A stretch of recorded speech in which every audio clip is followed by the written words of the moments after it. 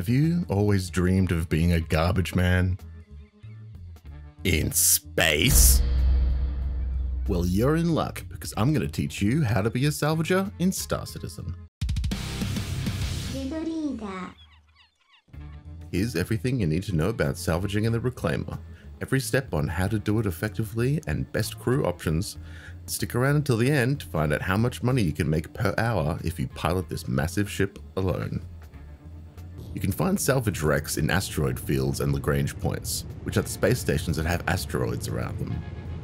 You could salvage any destroyed ship, or even a brand new ship, as long as it has its shields down. But if you can find them, the best things to salvage are these little ship pieces that I like to call chicken nuggets. Here's how you find salvageable ships and identify chicken nuggets amongst asteroid fields. First of all, press V to activate scanning mode when you're in an asteroid field. Roll your middle mouse wheel so the field of view is set to 360 scanning radius and hold tab to scan all around you. You should have some box icons pop up with distance markers above them. These could be salvageable wrecks, or they could be mining asteroids. Pick one that's closest to you and point your ship in its direction. Once you're looking right at it, scroll your mouse wheel until the scanning field of view reads 2 degrees and then hold tab again to scan. If you did this correctly, then the box icon should have turned into one or multiple small white icons.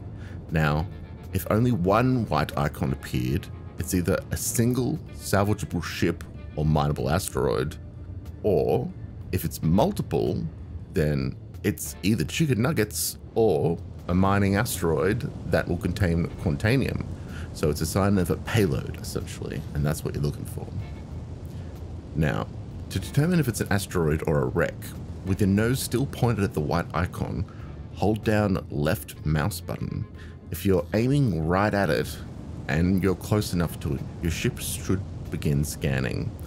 If it's a legitimate salvage, then you'll see this icon pop up. Sometimes you can lose your marker. If this happens, then restart the process until you're sure you're onto the goods. Remember, it's V, 360 degrees, tab, 2 degrees, tab, and then hold left mouse button to scan. Once you get close to your salvaging target, park your garbage truck right up, almost so your nose is touching it, but just a bit lower than the pilot seat. This will allow your salvagers to get full coverage of it.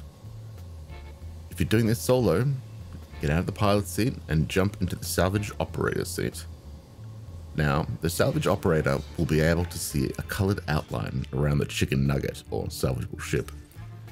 Green means this salvage is juicy and it will take less scraping to be able to fill up a crate of RMC or recycled material composite, which is the commodity we're, we're collecting and selling. Blue means there's still heaps of salvage on it. Now, all the chicken nuggets you find will usually either be blue or green, which is why they should be prioritized. While most ships will either be yellow or red, which both have a lower amount, forcing you to do a lot more scraping to fill each box. For instance, it takes about 20 seconds with a blue chicken nugget to fill one SCU of RMC, but it takes over twice that long at about 45 seconds with a yellow outlined hull for every one SCU of RMC, valued at 7,700 Alpha UEC. Wait until it says the filler station is ready again once you've filled one box, then continue scraping. Once the second cargo box is full, you'll get a warning saying the filler station is blocked. If you're solo, at this point, hop out of your operator seat and sit in the second operator seat opposite. These two seats both have separate filler stations, so you can continue to scrape hulls for another 2 SCU before needing to move the cargo. By this point, we now have 4 SCU of RMC in a reclaimer, which is valued at a total of 30,800 Alpha UEC that we've gathered in about a minute and a half of gameplay. Not bad if you're doing this solo. But now we've got to run across the distance of the ship to the salvage processing deck to ready the stations before we're able to gather any more. This is the main thing that will slow down your ability to make money on the Reclaimer if you're not flying with a crew. But personally, I find the run to the fill stations a nice jog to do than on the Vulture, The Vulture has this ladder that you need to go up and down all the time, and it's never a seamless transition, and just feels a bit more in the way and clunky than the Reclaimer run. Once you're in the salvage processing deck, you'll need to use a multi-tool with a tractor beam attachment to move the two 1 SCU boxes of RMC out of the way of the filler stations and onto the cargo grid just to the side of the stations. Once you've moved those, go up to the fill stations and eject the third and fourth boxes on either machine and add those to the grid also. The grids on the side can only store cargo one box high, which is fine if you're running the Reclaimer solo, but when you have a full crew, this deck will be filled up with boxes, and someone will be required to shift them down to the cargo hold. And with a whopping 300 SCU of cargo space, that means you could store over 2,310,000 Alpha UEC of RMC with a full competent crew. Speaking of crews, if manning with a crew, for optimum efficiency, it would be five. One pilot making sure the scrapers always have a good angle on quality salvage, two salvage operators doing the salvaging, and two people in the salvage processing deck slash cargo hold removing and stacking the boxes. If this crew split the profit equally from a full cargo hold of 300 SCU of RMC, they would stand to profit 462,000 Alpha UEC each per cargo load. You can store far more than 300 SCU of cargo on the Reclaimer, but it won't be on a cargo grid, and these things can bug out and clip through floors and all sorts of stuff.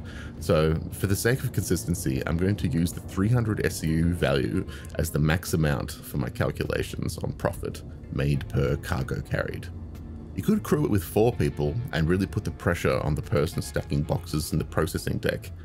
It might take longer to fill an entire cargo hold, but with a four-way split, they would stand to make 577,500 Alpha UEC each. Now, it is a good idea to have an escort if you can. At least a fighter just to scout around and make sure you're not being stalked while salvaging. But if you've got a good crew and they can jump to action quickly manning the turrets and your pilot is skilled at getting you out of tough spot, then you should be okay. It's worth keeping in mind though that in the current build of the game I'm playing, I've seen ballistic weapons take out a reclaimer in 30 seconds. So either your crew can confidently get to the turrets in time to fight back, or your pilot needs to be spooling the QT drive as soon as an enemy contact has been confirmed. So just keep that in mind and don't take on anything too risky if your cargo hold is nearing capacity.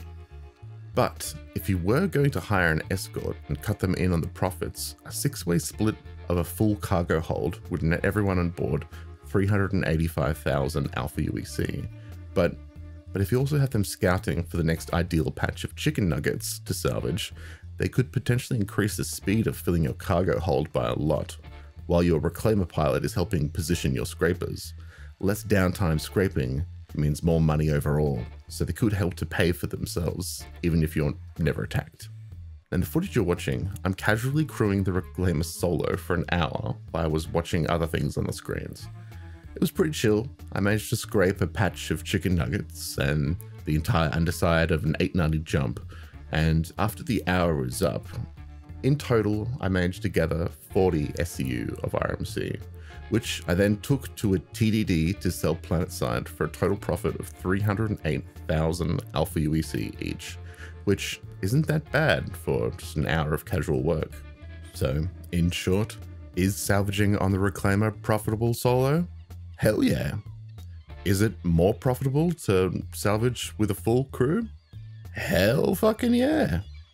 If I didn't have to run up and down constantly taking breaks in between salvaging, I could have hoovered up that stuff infinitely faster. And with the amount of money that you make by doing it, you can easily pay your crew as well, so everyone comes out of it with a nice amount of money. And unlike the Vulture's 12 SCU of cargo, the 300 SU means that you can stay out there for a good amount of time, salvaging till your heart's content. That's everything that you need to know about salvaging in the Reclaimer in 3.18. If there's any more updates to it, I'll try and post it on here, but until then, my name's DedLeader. I'll see you out in the verse.